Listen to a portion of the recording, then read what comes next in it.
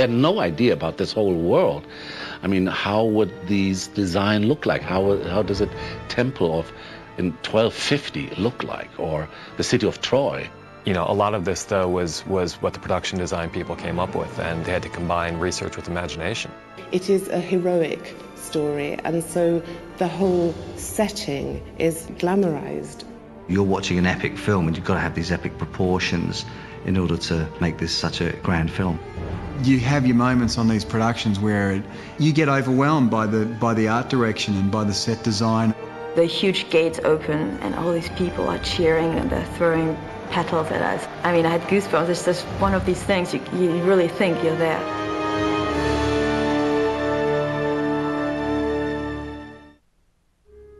Heinrich Schliemann is a German explorer who excavated uh, Troy in the 19th century. He says that when he was eight years old, he was given a book, a children's history, which showed the burning city of Troy and Aeneas escaping from it. And his father explained to him that it was an artist's reconstruction. Nobody really knew anything about Troy. And, and Schliemann tells us in his own autobiography, at that moment I said to my father, when I'm grown up, I'm going to go and find Troy. He almost literally set off with Homer in one hand and a spade in the other to prove that the world of Homer had existed. Schliemann began excavating at the site that we now call Troy. And he said to the world, Yes, this is it. I have found the Troy of the Trojan War, where Priam lived, where the heroes came and fought. With a project like this, you've got to do a lot of research. It was important for Wolfgang that the film was authentic, as authentic as possible. Nigel Phelps had enormous knowledge about the time, and his, his first drawings were just beautiful. And they were digging themselves into all kind of books and research material in British Museum. I was just fascinated by they, what they came up with. Nigel Phelps's uh, view on it was that he'd rather create something of, of, tremendous visual interest rather than you can actually get slightly bogged down with um, historical research and things like that. You look at pictures of what, what contemporary historians think Troy probably looked like, and it's quite a bit smaller than what we have and quite a bit less majestic. But for the movie, it's, it, it makes it more powerful, and, it, and frankly, it makes it more beautiful that you have this glorious city. I realised that the reality of the period was that the buildings and everything was very small. And so what I've done is mix up several different cultures of the period, the scale of the Egyptians and some of the forms that the Mycenaeans created. But to get the big landscapes, the big epic sweeps, and you figure out where, where in the world are you going to be doing this.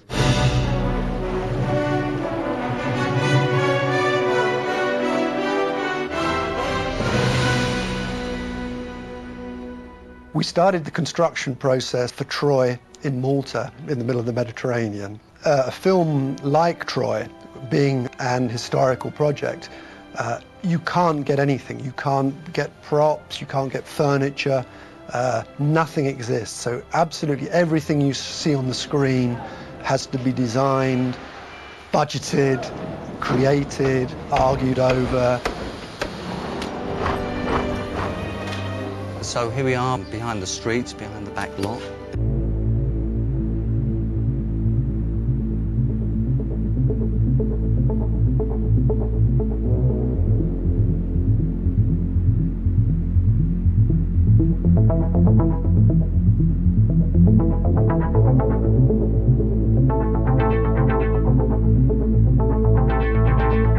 This historical accuracy then goes out the window is that, you know, the largest sculpture that was found over that period was 10 feet tall, you know, and we've got to have like 40 foot statues.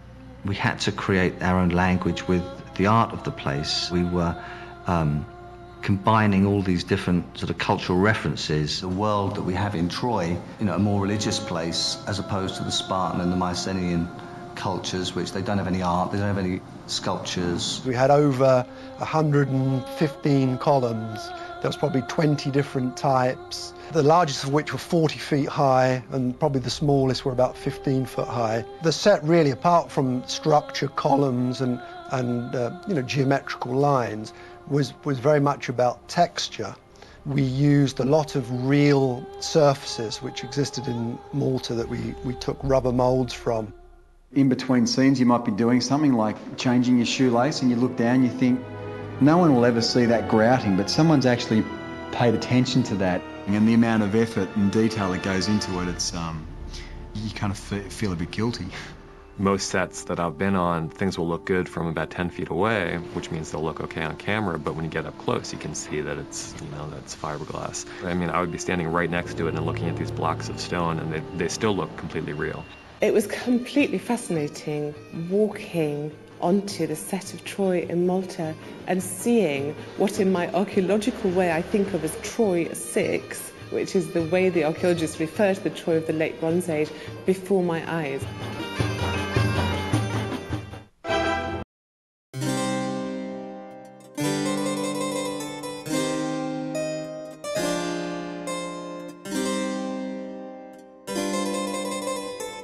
To Morocco for the, the scale parts of the film, meaning we needed to have a very broad beach where a thousand ships could land.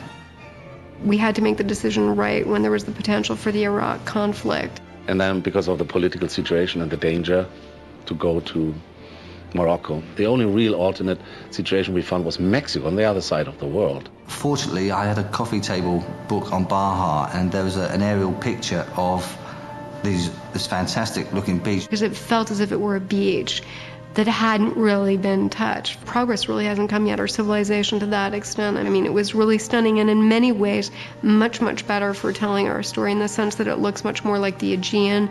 I mean, there were two issues. One, the environmental issues. I mean, first of all, we're working on what is pretty much a pristine beach. The uh, entire coast of Mexico is an endangered turtle habitat.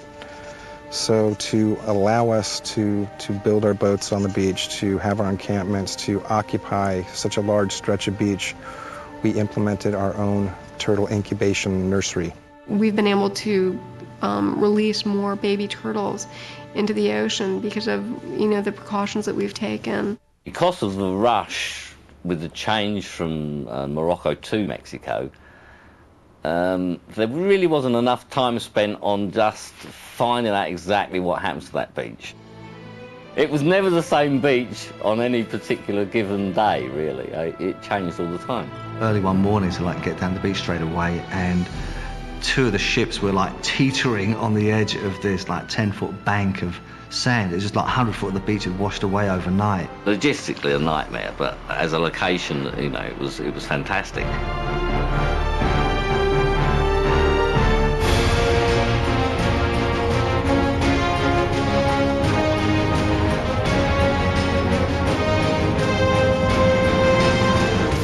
We've built 500 foot of wall, and for the most part, it's on average 40 foot tall. It's 60 feet in the central bit where we have the 40 foot gates. It's endless, and Wolfgang would have to sit us down and say, this is what you'll see. Digitally, it's going to be extended by miles. As a viewer, we should have the same reaction as Helen does when she first sees it. You know, she's looking around, you should be filled in awe. Actually, there have been challenges with weather everywhere. And it seems just when we sort of get a, a foot up or a leg up, so to speak, something happens like the, the hurricane in Mexico.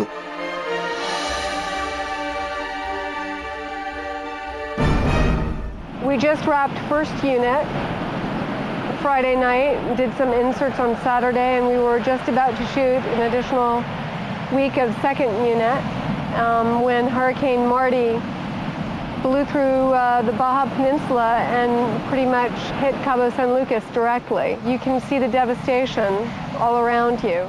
It worked out that the, the cheapest way of doing all of the, you know, these other three days of shooting that needed to happen was to rebuild the whole thing again.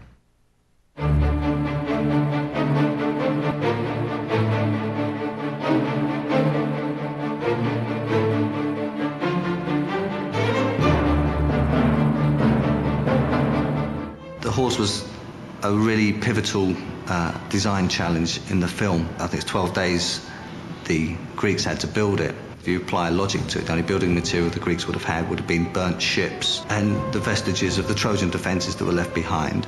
Bob Ringwood came in with a very uh, intriguing reference of a gorilla um, that had been made out of car tyres. I also had a picture of this decomposed ship. It just burnt and charred and it just looked fantastic. And it was pretty simple to look at the two things. It's like, hmm. Paul Catlin came up with what was the best one. And the sculptor, Martin Smeaton, took the sketch and came up with a like a 12-inch maquette that was just fantastic. And then we embarked on making a full-size sculpt in polystyrene.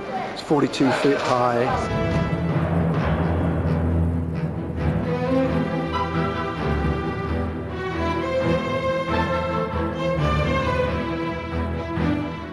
The other thing with having this sort of informal design was that you could have lots of different doors that would open in it. The whole thing weighs about now 12 tons. One of the driving factors was the fact that it had to be dismantleable to transport from England to Malta and then take it apart again and then from Malta to Mexico.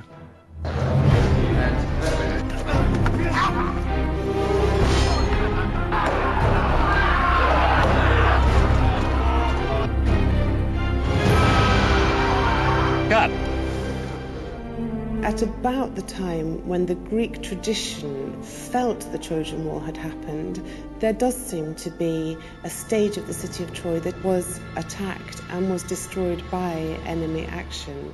So there is the possibility that that is the single event that was behind the Greek tradition of the war.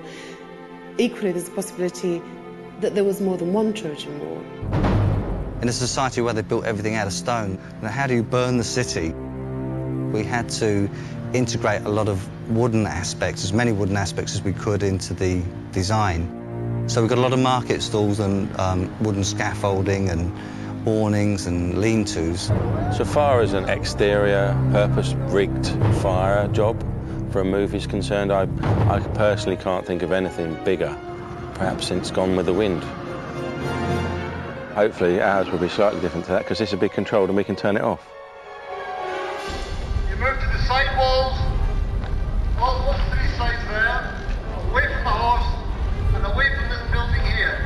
We have five separate points throughout the back of the set where we have a liquid propane gas tanks.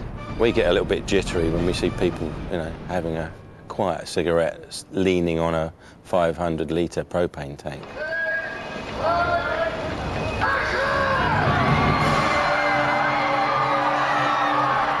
Wolfgang rolled the shot for two, three minutes, then it was cut, and the Maltese firemen ran in onto the set and doused it all down. I mean, it was absolutely breathtaking, the, the way the horse caught.